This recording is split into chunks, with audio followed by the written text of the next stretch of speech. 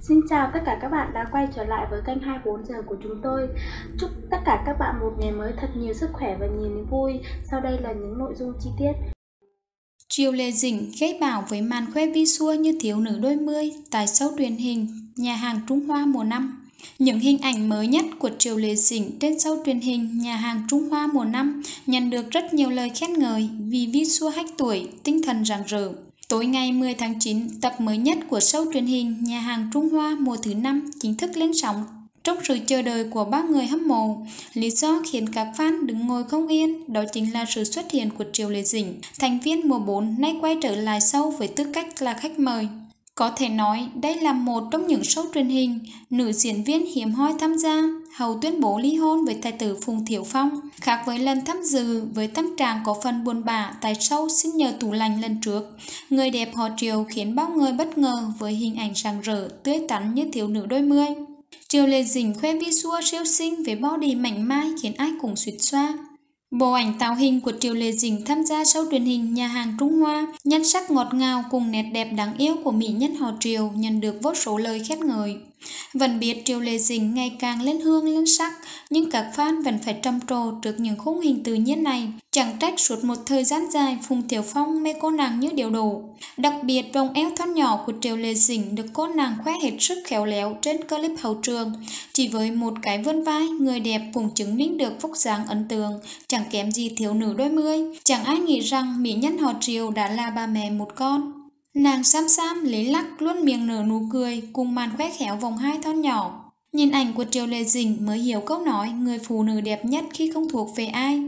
Cô nàng khoe phi xua rạng rỡ trong sâu truyền hình, gốc nghiêng thần thánh với sóng mùi cao ấn tượng của mỹ nhân sở kiều truyền. Gặp lại cô bạn trong Bích Thần, cả hai nhanh chóng có ngay những tấm hình thân thiết bên nhau.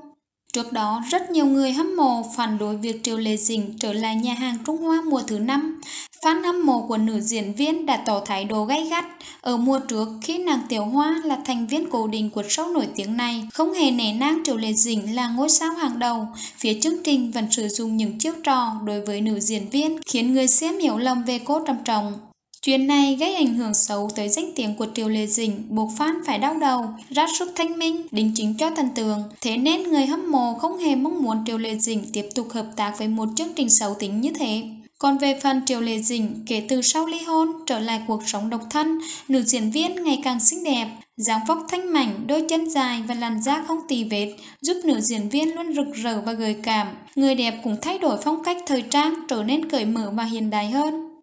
Trước đó, fan hâm mộ xứ Trung được hôm đập nó thính với bộ ảnh xinh lung linh nhưng không kém phần quyến rũ khi Triệu Lê Dĩnh tham dự chương trình Xin nhờ tủ lành tập thứ hai phát sóng vào ngày 28 tháng 6. Kể từ sau khi ly hôn Phùng Thiểu Phong, đây là lần đầu tiên nữ diễn viên nhận lời tham gia một chương trình truyền hình.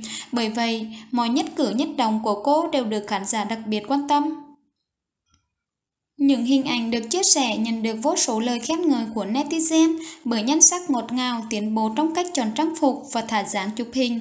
Có bình luận cho rằng sau khi sinh con, nàng Sam Sam càng trở nên mặn mà sáng chảnh. Còn nhớ đầu tháng 8 vừa qua, trang 163 bất ngờ khui lại bài phỏng vấn tại buổi live stream đầu tiên của nữ diễn viên xuất hiện hầu tuyên bố ly hôn. Đặc biệt khi được MC hỏi khéo về vấn đề ly hôn, làm thế nào để đối mặt với những thay đổi to lớn trong cuộc sống. Triều Lê Sinh đã có câu trả lời ấn tượng chỉ với 8 chữ. Mạnh là do tôi, không phải do trời. Hiện tại Triều Lê Sinh đang trong giai đoạn quay phim song song với việc chăm sóc đứa con trai mới 2 tuổi.